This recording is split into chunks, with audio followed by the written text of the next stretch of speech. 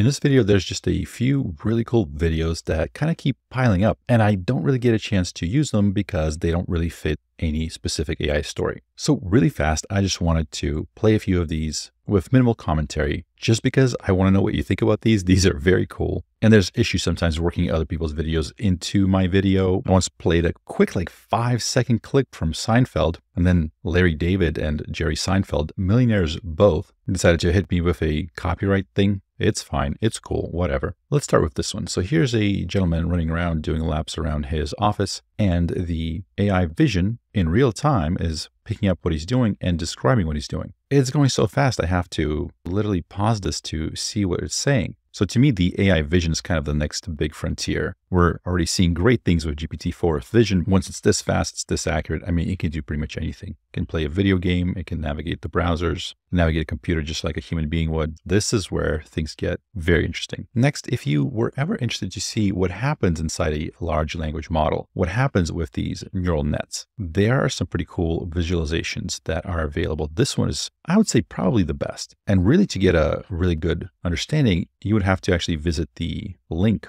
and go through it yourself. So here's, if I zoom out, you kind of see the various architectures here. So this is GPT-3, this massive thing. But if you wanted to kind of visualize what's happening on the smallest level, you can see, you can take a look at Nano GPT. And you can kind of zo zoom in and see each layer, each, each piece of the architecture where you have the bias, the weights. You can see how the attention matrix, the attention output works. I'll be honest, I have kind of a conceptual understanding of how it works, but I, I would have a hard time explaining what each of these pieces do. But I'm definitely looking forward to messing around with this a little bit and trying to understand it better. And I think this is really effective for that. Number one, this is just a web page that I'm moving around with my mouse. Like if I hold down the middle mouse button, I can rotate it in 3D space. I can zoom in and see what each one of these pieces are. And here on the left, it actually explains what happens as you go through this process. So for example, here we're using Nano GPT, the smallest sort of possible thing on this list. It's kind of like one of those things where they show you how big the stars and the planets and the suns and the galaxies are. When you zoom out, you start to kind of get a feel for how big some of these models are. This is the GPT-3. Now imagine GPT-4, even, you know, many times bigger than that. But here with the Nano GPT, for example, what happens when we do something super simple on this tiny model of 85,000 parameters, right? Because now we're referring to models that have 7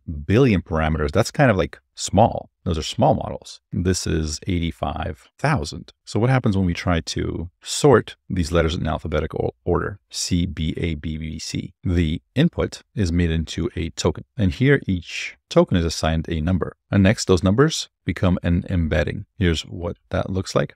I'm not going to go through the whole thing, but if you were interested in doing this, this is one of the absolute best visualizations that I've seen. And keep in mind that these neural nets, they're kind of an abstraction of the human brain. They're kind of modeled after how the floating combination of fat and proteins in your very own head, how that behaves. Was that too weird of a way of explaining it? it? It's your brain. That's what it's made of. I'll leave a link down below, but it's certainly interesting because what you're looking at is the architecture that turns data whether it's images or numbers or words or letters. And it turns it into some other data. But this part, the thing that makes it happen, that's intelligence. This is what intelligence looks like in the abstract digital realm. Now, on this channel, we've covered a few studies that are showing that it seems that these neural nets, that they build a world model, a certain, a certain mental model of what they believe the world to be. It's kind of hard to even describe what they're doing because all these terms like believe or think or understand, like we don't have really good definitions for them and, and we don't have sort of a different set of words to use for language models. But when people say that these models, all they're doing is predicting the next word, and they kind of say maybe a little bit dismissively, like, oh, they can't do this. They're just predicting the next word. Yeah, that's technically true. They are just predicting the next word, but how they're going about it, that's the mind blowing part. Because as we give them data and we ask them to make guesses, inferences about that data, in order to become better at making those guesses, they're building a model of their world, of the world that they need to understand in order to make those predictions. Take a listen. The way to think about it is that when we train a large neural network to accurately predict the next word mm-hmm. in lots of different texts from the internet, what we are doing is that we are learning a world model. it looks like we are learning this. It may, it may look on the surface that we are just learning statistical correlations in text. But it turns out that to just learn the statistical correlations in text, to compress them really well, what the neural network learns is some representation of the process that produced the text. This text is actually a projection of the world. There is a world out there, and it has a projection on this text. And so what the neural network is learning is more and more aspects of the world, of people, of the human conditions, their, their, their hopes, dreams, and motivations, their interactions and the situations that we are in. And the neural network learns a compressed, abstract, usable representation of that. Mm-hmm. This is what's being learned from accurately predicting the next word. And furthermore, the more accurate you are at predicting the next word, the higher the fidelity, the more resolution you get in this process. Next, we have this ability to create pictures and videos pretty much as fast as you can type. You type in what you want, train in space, and then you have multitudes of variations on that theme. If you wait on one long enough, it turns into a video. This is what video production will look like in the future. Type in what you want, find the look that you're going for, and then watch it animate in front of your eyes. Train on Mars now becomes, everything becomes train on Mars, and here it is animated. Here's this video really fast. Take a look and see what you think.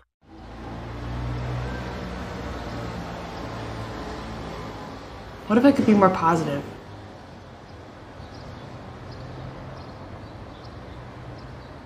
Less anxious, less obsessive, less judgmental. What if I could change my inner monologue? Yes, I'm here. Can you hear me? Hello, Kyle. I'm the voice in your head. Kyle McDonald and I have been developing a new system where the people I interact with, the places I go, the things I do, are guided by an AI enhanced voice that speaks to me the way I'd like to be spoken to. Now, we want to share this with you. For me, I want just want to be more positive. It seems like, um, and say things that are more positive energy to other people. I'd like to slow down, kind of take it all in, uh, realize I'm not on stage. As you talk to it and train it to support you, it will clone the sound of your voice and speak to you. I will support you I'm here for you. I'm here for you. I'm optimistic. Let me help you.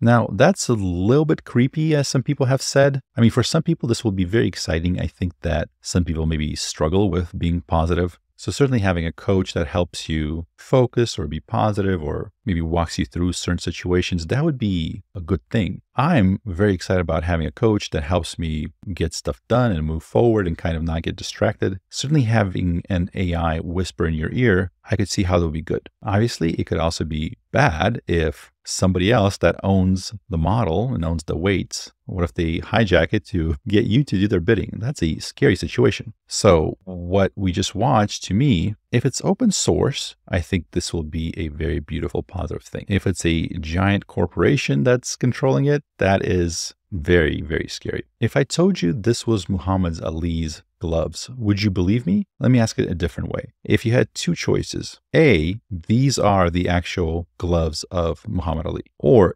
B, these are just some other gloves, would you pick A or would you pick B? The answer is these are neither. They're not gloves. They're not real, they're not there. Everything else is the table, the laptop, the picture of Muhammad Ali, the books in the background. This is a real room in a real house with real sunlight and fake gloves, as in they're not there. They're augmented reality. They don't exist. Now, let me play just one more time and see if you can kind of maybe, now that you're aware that they're augmented reality and they're placed there uh, sort of by a computer, I, I, feel like you could almost see a little bit of them maybe twitching a little bit in the real space. If you've ever played uh, with the VR goggles, you kind of sometimes, you know, kind of what I'm talking about. Sometimes, you know, things shift a little bit, or if you accidentally knock the goggles you're wearing, kind of the world like twitches a little bit. And I feel like you can kind of pick up on that here just a little bit. Or maybe I just feel that way because I now know that they're not real, but I gotta say, it's really, really getting hard to tell the difference. Those look very real. This is an autonomous robot that is working on basically synthesizing new, never before seen materials. It starts with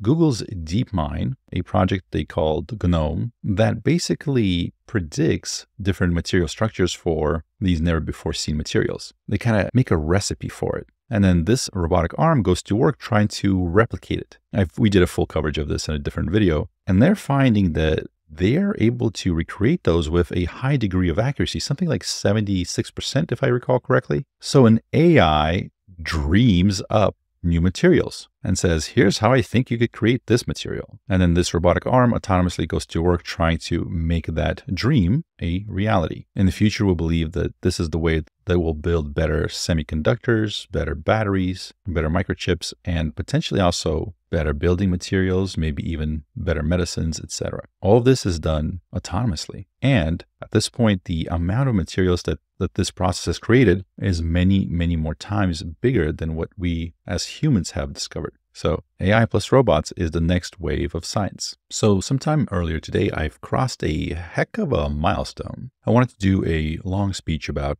how thankful I am and how together we can make this world a better place. But then I remembered what a wise man once said. Don't use it as a, a, platform to make a political speech, right? You're in no position to lecture the public about anything. You know nothing about the real world. Most of you spent less time in school than Greta Thunberg. So, if you win, right, come up, accept your little award, thank your agent and your God, and. So. No, but with all that, seriously, thank you. From people who find my jokes funny to the nastiest trolls, I love you and thank you for being part of this journey. All right, I'm done patting myself on the back. My name is Wes Roth. Thank you for watching.